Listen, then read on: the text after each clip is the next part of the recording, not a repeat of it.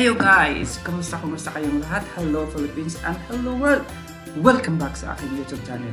So ngayon guys, ipapakita ko na naman sa inyo kung paano mag-install ng microphone condenser in an easy steps. Eto guys, oh.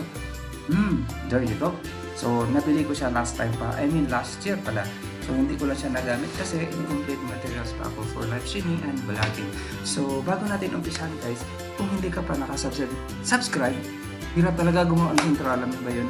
Uh, nakasubscribe sa aking YouTube channel, please smash the subscribe button and also and also guys, don't forget the notification bell para lagi kayong updated sa aking future videos. So, bago natin umpisahan ang installation dito guys, so let's roll the intro.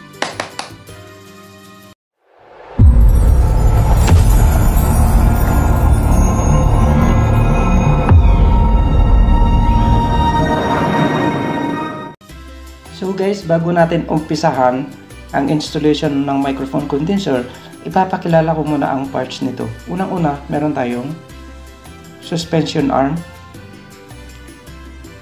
shock mount, clamp, cable wire, pop filter, nut and the PM 800 microphone.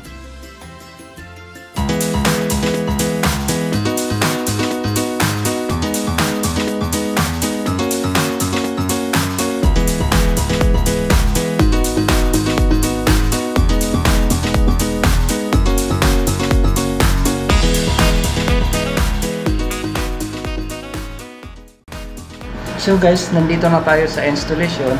So, meron akong flat dito na surface kasi yung table ko dito hindi siya pwede kasi may medyo curve siya. So, ang una natin gagawin is i-adjust muna natin ang clamp to a uh, suitable position and tighten to your desk. So, dahil wala tayong desk, dito lang muna tayo.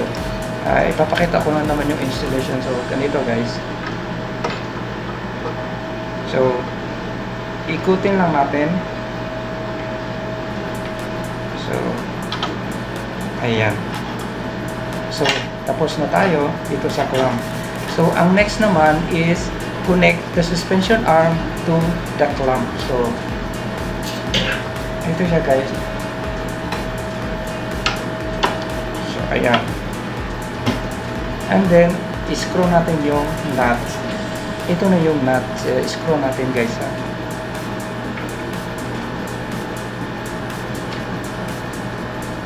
So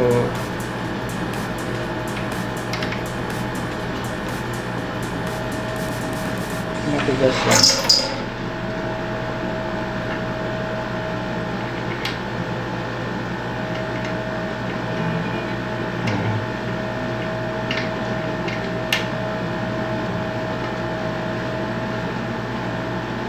So, kailangan masikip. so, kailangan it tight.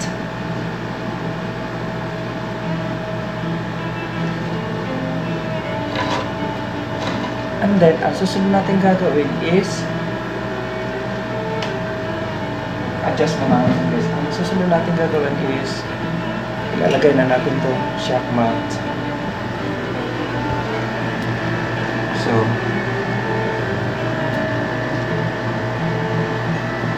dito guys. Lalagay natin to dito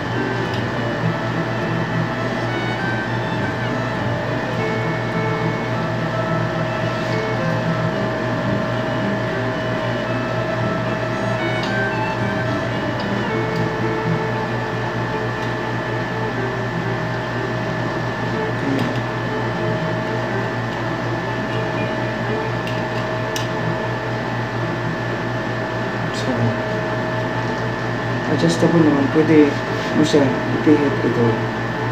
Ayan.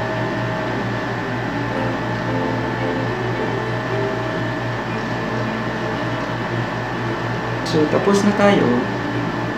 Tapos, yung susunod natin ilalagay is yung microphone. So, ipipinch lang natin yung wings. Yung wing, meron siyang wing. So, depende na sa inyo kung ano position pag ganyan or down. Kasi napapansin nyo ito, dapat siya nakaharap dito sa bunganga nyo para pag nagsasalita kayo kitang kita or klarong klaro yung boses nyo so pag ganito siya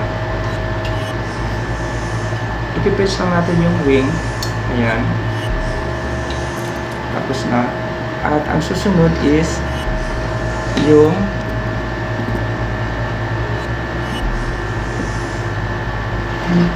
cable wire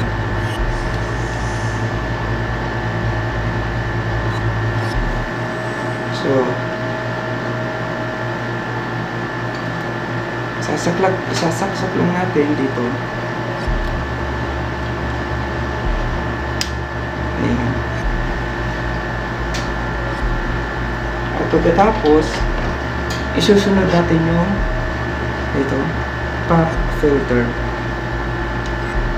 So, i-adjust ikaw na bahala mag-adjust. So, ganito lang. So, ayan. Kailangan nakatay siya para hindi galaw ng galaw.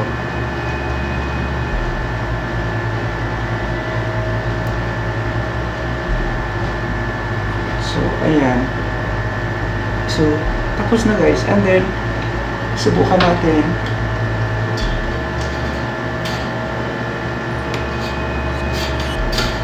At ito guys, i-connect natin to doon sa audio card.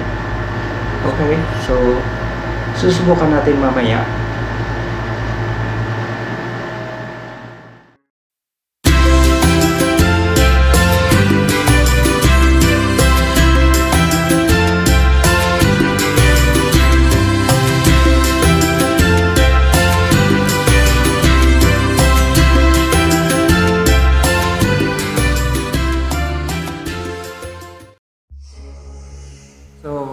Guys, guys nakakonect na siya. Test mic, test mic. So, wala lang talaga akong speaker mahina lang. So, lakasan ko na lang yung boses ko kasi nag-try out ako, medyo mahina. So, na- napapansin nyo naman may echo. So, subukan ko nga kumanta kung mm, maririnig nyo ba talaga. So, ito na. One, two, three. I could stay away just to hear you breathing. Ba? Naririnig ko yung sarili ko. So, naririnig ko, ang ganda ng boses ko. Ihi, uu. Oh, di ba guys? So, ayan guys, na-work out naman. So, maraming maraming salamat. Maraming maraming salamat dahil ah nakapag-share ako sa inyo ng isang tutor- tutorial na sana'y may apply o magawa nyo rin in, in time pag meron na kayong microphone condenser. So, maraming maraming salamat sa inyo guys so, uh, sa pag ah, sa pag sa panonood ng aking tutorial. So, next time guys, mag-install ulit ako ng ring light. So, maraming maraming salamat at sa hindi pa nakapag-subscribe, please don't forget to smash the subscribe button and also the notification bell para lagi kayong updated. Maraming salamat and God bless you all.